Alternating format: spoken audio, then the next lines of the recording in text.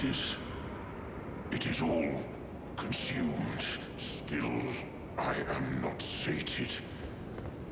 Not nearly sated. Marika! Is this what it is to sin? Will things never be the same again?